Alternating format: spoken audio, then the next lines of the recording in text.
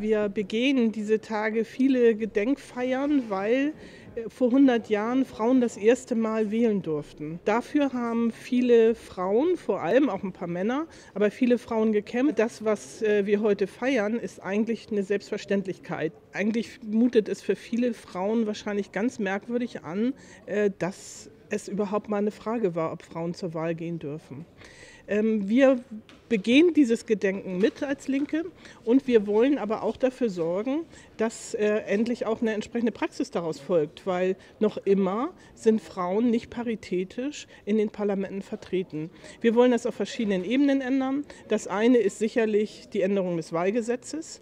Ähm, ein Wahlgesetz, was es möglich macht, dass Frauen wirklich äh, zu 50 Prozent auch in dieses Parlament einziehen können. Das erreicht man zum Beispiel dadurch, dass man Wahlkreise vergrößert und immer ein Mann und eine Frau zusammen antreten müssen.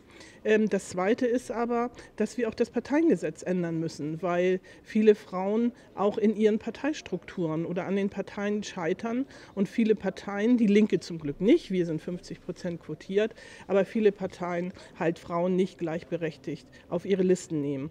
Aber das ganz, ganz Entscheidende für uns als Linke ist, dass es eben nicht ausreicht, dass wir ein entsprechendes Wahlgesetz haben, sondern dass wir wissen, dass Frauen, weil sie kein Geld haben, um sich politisch einzubringen, weil sie keine Zeit haben, um sich politisch einzubringen, von der politischen Arbeit abgehalten werden. Und deswegen wollen wir uns ganz besonders um Fragen der sozialen Gerechtigkeit kümmern. Wir wollen dafür kämpfen, dass Frauen nicht mehr die Hauptlast zu Hause und in schlechter bezahlten Arbeiten wegträgt. Wir wollen, dass alle Frauen sich auch politisch beteiligen können und genug Zeit haben für Politik, für Teilhabe und auch für ihre Familie und Beziehungen.